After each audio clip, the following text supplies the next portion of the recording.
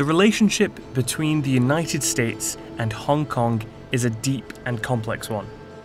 It's one of the most important economic partnerships in the world, and any change would have huge implications for both. Over the past 10 years, the US has enjoyed its largest trade surplus with Hong Kong. It was valued at 33.8 billion US dollars in 2018 alone. That means Hong Kong is America's most profitable trade partnership. But how did they get here? And just how interconnected are these two economies?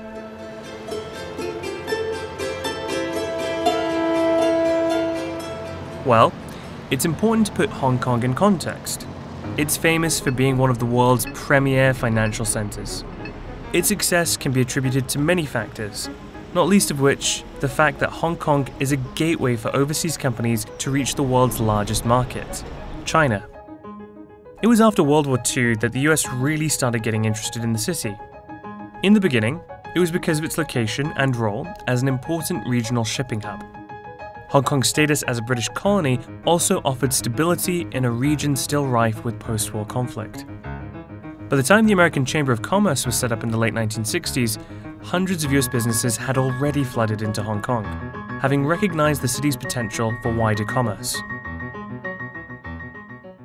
In 1992, the approaching handover of Hong Kong from the UK back to mainland China was on the minds of many US politicians and business leaders. That's why the US passed a very pivotal piece of legislation. It's called the United States Hong Kong Policy Act. Hong Kong was seen as important enough to the US economy that the US government wanted to maintain non discriminatory trade relations even after it shifted from a colony to a city under Chinese rule. This is something that only the president can revoke. This is what people mean when they refer to Hong Kong's special trading status. Washington treats the city as a separate entity from mainland China when it comes to trade. That means Hong Kong can avoid tariffs that might be placed on China by the US. The most recent example of how this works came up during the US China trade war when Hong Kong avoided costly tariffs placed on Chinese goods by the US. Similarly, Hong Kong didn't place any tariffs on domestic cargo heading to the US. But the 1992 Act has another key provision. It also allows Washington to provide conditional support for Hong Kong to access sensitive technologies from the US and its allies.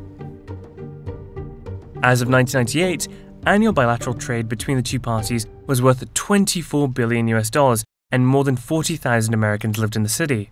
Today, the partnership is even deeper. Now, over 80,000 US citizens reside in the city, which hosts over 1,300 US companies employing around 100,000 people. About 300 of those US companies use Hong Kong as their Asia regional headquarters. One of the key cornerstones of this modern partnership is something called re exporting. 43% of Hong Kong's total trade consists of re exports going between the United States and China. Re-exporting is basically when two countries find it easier to trade by sending their goods through a third party for re-export to a country that wants them. Basically, Hong Kong's strength comes from being an international trade middleman.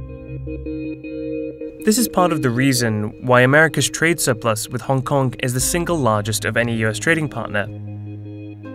The surplus, which is valued at over 30 billion US dollars, is in large part due to Hong Kong imports of American aircraft, spacecraft, electrical machinery, pearls, gold, diamond, works of art, meat, fruit, and yes, even nuts.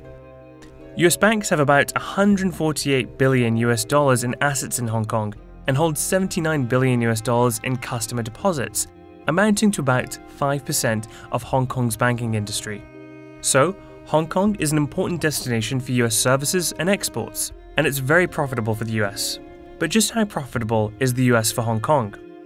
Well, of all of Hong Kong's imports in 2019, only 4.8% actually came from the US, but that was still worth over 27 billion US dollars in real terms.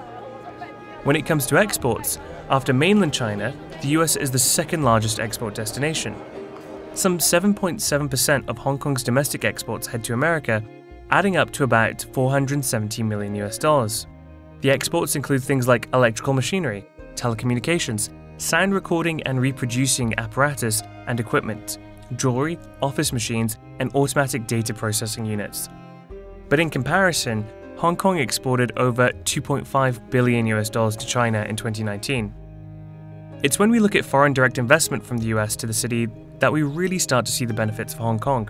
US investment into Hong Kong added up to 82.5 billion US dollars in 2018, a 1.6% increase from 2017.